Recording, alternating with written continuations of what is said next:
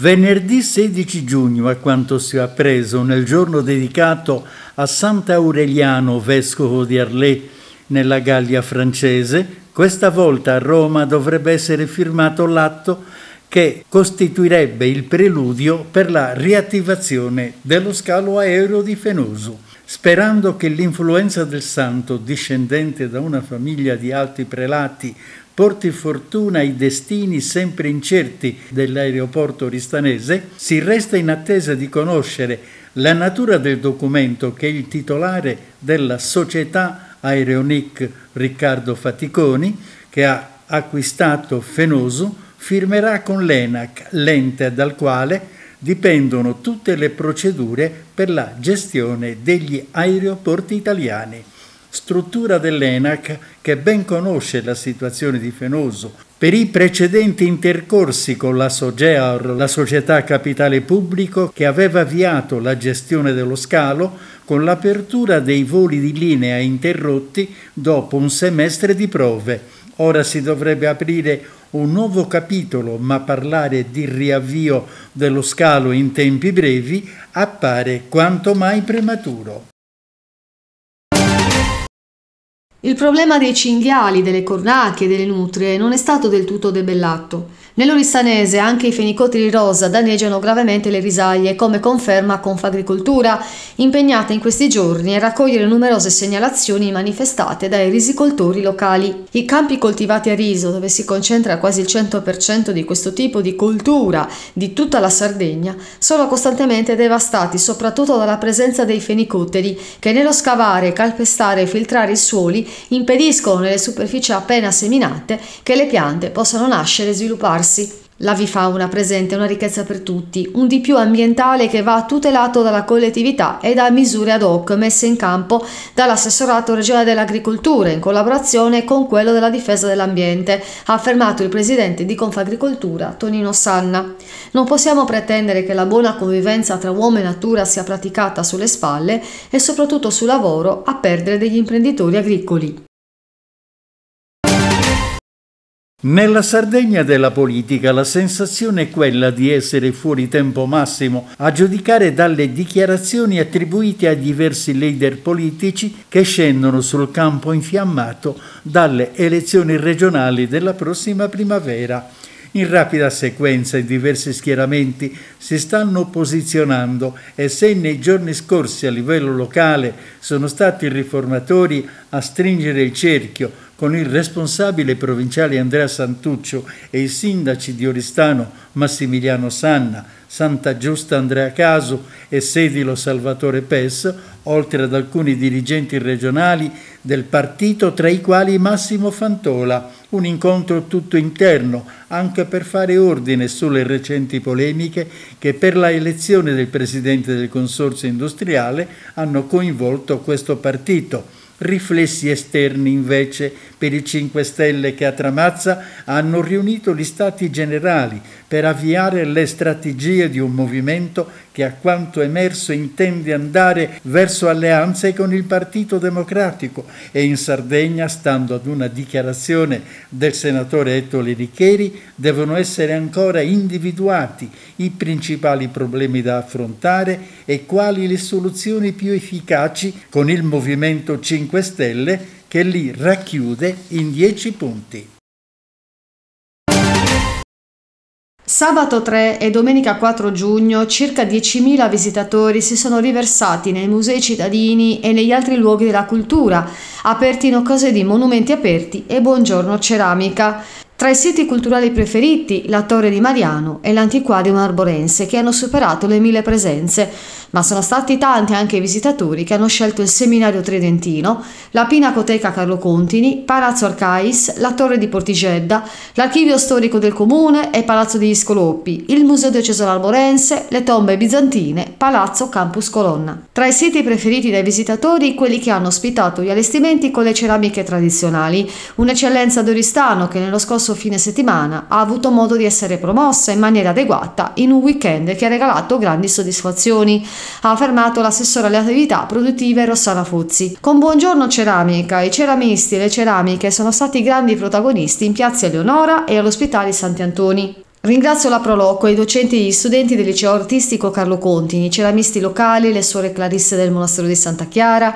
la Fondazione Oristano, la cooperativa sociale Ollus Sea Scout e il circolo Scherma di Oristano. Tutti hanno concorso a proporre un programma molto ricco con la mostra di ceramiche artistiche, proiezioni, esibizioni sportive, performance musicali e visite guidate. Parlare di bullismo non è facile. Non lo è mai per chi lo subisce, per i genitori, per gli insegnanti. Per questo motivo la Giunta regionale ha deciso di promuovere iniziative finalizzate a prevenire e contrastare tali fenomeni. L'assessore alla pubblica istruzione Andrea Biancaredu ha dunque sostenuto la necessità di incaricare il competente servizio della Direzione Generale della Pubblica Istruzione per l'emanazione di un avviso per la selezione di progetti utili all'istituzione di sportelli di ascolto, coordinati e gestiti da professionisti specializzati in interventi sul bullismo che coinvolgano alunni, insegnanti e genitori, destinando in totale 150.000 euro, di cui 76.000 euro per le scuole primarie e secondarie di primo grado e 74.000 euro per le scuole secondarie di secondo grado. Per ogni sportello un finanziamento massimo di 4.000 euro. Ogni autonomia scolastica potrà proporre un solo sportello con possibilità di costituire reti associate fra almeno tre autonomie scolastiche che potranno attivare due sportelli ogni tre scuole associate. Domenica 11 giugno a Oristano, settima edizione della Rotary Corre. I protagonisti della corsa saranno professionisti, amatori e semplici cittadini che nelle prime sei edizioni hanno fatto crescere la manifestazione benefica patrocinata dal comune di Oristano e dalla provincia e organizzata dal Rotary Club, Rotaract e Interact di Oristano. Questa mattina a Palazzo Campus Colonna la presentazione della manifestazione alla presenza del sindaco Massimiliano Sanna, degli assessori allo sport Antonio Franceschi e ai servizi sociali Carmen Murru. Il Comune sostiene con entusiasmo questa manifestazione che è diventato un appuntamento fisso per la città, hanno detto il sindaco Sanna e gli assessori Franceschi e Murru presentando l'evento. Il connubio sport sociale funziona sempre e Oristano ha sempre risposto con entusiasmo. Quest'anno lo scopo principale della rotta ricorre sarà l'acquisto di un sollevatore per piscina, ausilio per le persone con limitate capacità motorie, uno scopo nobile per una manifestazione di sicuro successo. La ruota ricorre sta diventando una classica, ci siamo fermati solo per la pandemia, ha evidenziato il presidente Ireneo Picciau. In questi anni la manifestazione è cresciuta tantissimo con un'organizzazione sempre più complessa e partecipata. La città e i runner la aspettano e anche quest'anno l'appuntamento arriva puntuale. Dal 2014 la Rota Ricorre unisce la promozione sportiva alle finalità sociali che sottolineano l'importante azione svolta dal Rotary anche a Oristano, ha aggiunto Adriana Muscas, governatore designato Rotary Distretto 2080 e past presidente Rotary Club Oristano. Nel corso della conferenza stampa è stata ricordata Bianca Muscas, scomparsa nei giorni scorsi. Bianca è stata l'anima del Rotary per tanti anni e per noi è un doveroso omaggio a una persona che ha dato tanto a questa città, ha detto Ugo Scanu, presidente della commissione sport del Rotary Club Oristano, che poi si è soffermato sugli aspetti tecnici della manifestazione, il cui programma tecnico prevede una corsa di 10 km competitiva, una di 10 km non competitiva e una di 3 km ludico-motoria si attendono almeno 500 partecipanti che prenderanno il via alle 9.30 da Piazza Roma. Nuove regole per garantire la copertura dei costi energetici sostenuti dai consorzi di bonifica della Sardegna per la fornitura d'acqua al settore agricolo e superare le criticità dovute ai rincari e alle forti oscillazioni del prezzo dell'energia conseguenti alla situazione internazionale. I nuovi criteri sono stati approvati dalla Giunta Solinas su proposta dell'assessore regionale dei lavori pubblici Pierluigi Saiu.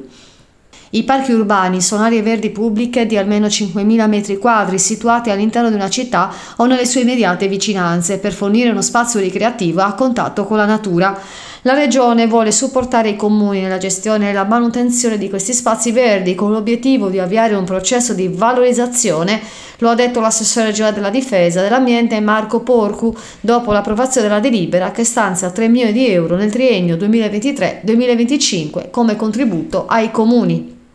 Il servizio di assistenza educativa scolastica ed extrascolastica plus si prefigge di garantire assistenza educativa specialistica ai minori residenti nel territorio dei 32 comuni dell'ambito ALES Terralba. Il servizio è rivolto a bambini e ragazzi portatori di bisogni educativi speciali frequentanti le scuole per l'infanzia, le scuole primarie e secondarie di primo grado. Le domande dovranno essere inviate all'email sociale chiocciola comunemarrubiu.it dell'ufficio dei servizi sociali del comune di Marrubiu di residenza entro e non oltre giovedì 20 luglio 2023.